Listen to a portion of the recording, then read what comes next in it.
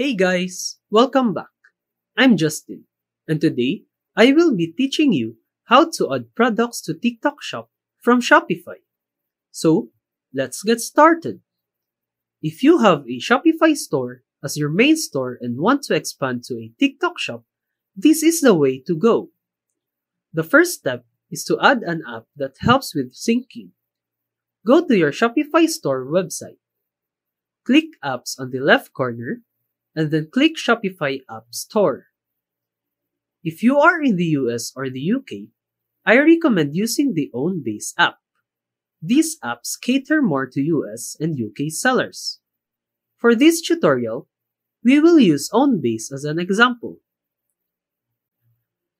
Search for OwnBase in the Shopify App Store and click on the app with the yellow background logo.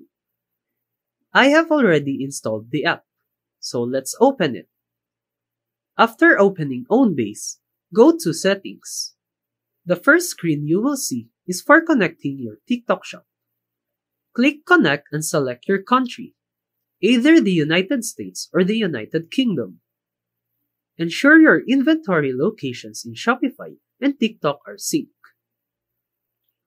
OwnBase can import your TikTok shop orders into Shopify, but ensure your inventory locations match to avoid issues. If you are outside the US or UK and the above apps doesn't work, use the TikTok shop's own app. Go to the TikTok shop Seller Center, scroll down to Apps and Services, and click App Store. Search for Shopify and install the recommended app. Ensure that your warehouse information in the TikTok Shop Seller Center matches your Shopify inventory location for accurate order syncing. And that's it for this video. I hope this video helped you out.